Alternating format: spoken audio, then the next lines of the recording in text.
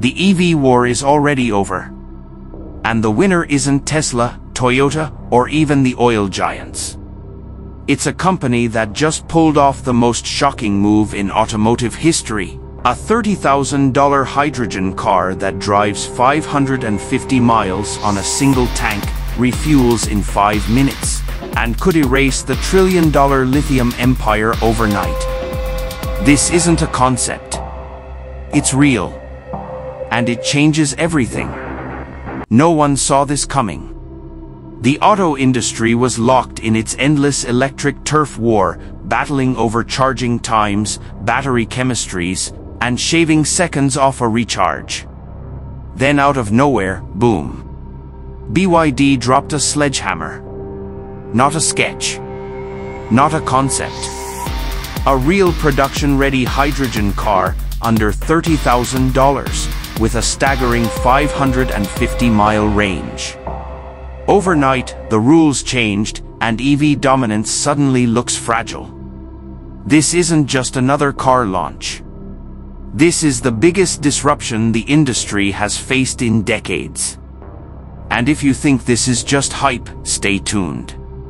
Because over the next 12 minutes, you'll see why BYD's hydrogen gamble could flip global transport, energy markets, and even geopolitics upside down. The way BYD unveiled it was pure corporate theater. No leaks. No whispers. Not even a hint. Analysts who normally brag about inside info were left standing in silence. Then came the moment BYD's CEO on stage declaring the end of the EV dominance era. Within hours, BYD's stock jumped $6 billion in value this wasn't market hype. This was shock recognition, a seismic shift in the economics of clean transport. Because here's the truth, BYD didn't just reveal a hydrogen car. They revealed a blueprint to make hydrogen mainstream. The tech breakthrough. So what makes this different from Toyota's Mirai or Hyundai's Nexo? price is one thing, those cars cost $60,000 plus. But BYD didn't just undercut them. They rewrote the entire engineering playbook. At the core is BYD's dual-phase hydrogen injection system, squeezing 30% more efficiency out of every gram of hydrogen. They cut engine weight by 18% with new alloys then solved hydrogen's biggest weakness, heat loss, by building a dedicated cooling loop that keeps performance steady in deserts and frozen highways alike. The result? Clean tailpipe emissions, just water vapor, and a hybrid assist that adds instant torque for acceleration. This isn't a science project. It's a production car that feels engineered like a weapon. The refueling advantage. But let's get real. Hydrogen's killer problem has always been infrastructure. So what's BYD's move? Two answers. First, refueling takes 5 minutes. Not 30, not 45, not even 10. 5 minutes, and you've got 550 miles of range. That's faster than EV charging, cleaner than gas, and cheaper than any hydrogen option before. Second, BYD isn't waiting around for others to build stations. They've already partnered with CIPC, China's state energy giant, to roll out 1,200 hydrogen stations by 2027.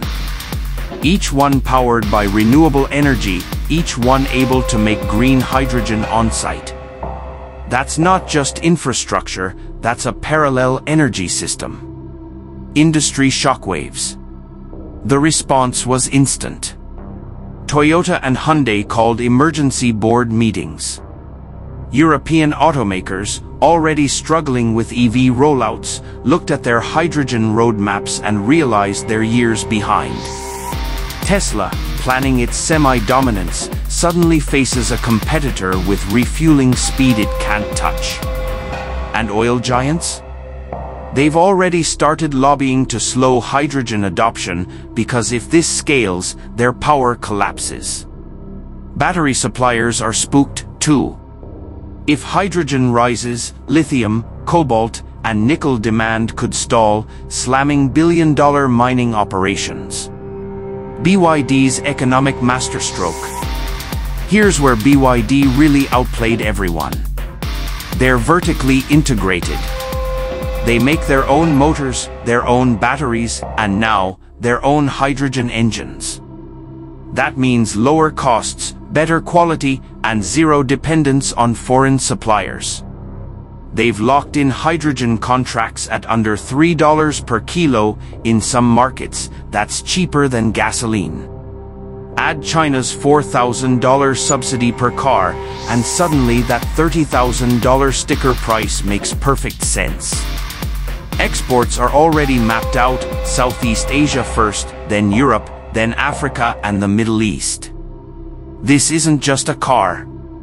It's a Trojan horse for global market dominance. The performance proof. For skeptics, the real question was, can it perform? The numbers don't lie. 0 to 60 in 7.8 seconds. Top speed 118 miles per hour. Cold weather trials in Inner Mongolia? Zero startup delay at minus 30 degrees Celsius. No sluggishness. No stalling. Just instant readiness. And with hybrid assist, torque matches diesel SUVs on steep climbs. Yet inside the cabin, it's whisper quiet. Smooth. Almost surreal. This is not just an eco car. It's a driver's car. The bigger picture zoom out and the stakes are enormous. Every hydrogen car on the road reduces China's oil imports. Every station built shifts leverage away from OPEC. Every fleet powered by green hydrogen bypasses the grid stress EVs create. This isn't just automotive disruption. It's geopolitical disruption. BYD isn't just selling cars.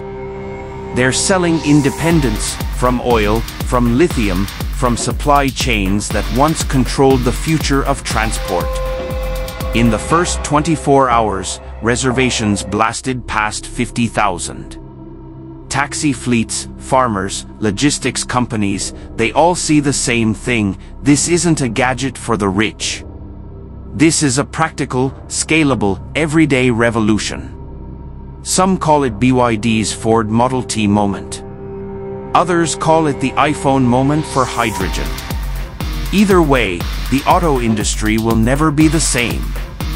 So here's the question for you, if hydrogen is clean, cheap, and as fast as gas, would you ever buy another EV again? Because one thing is clear.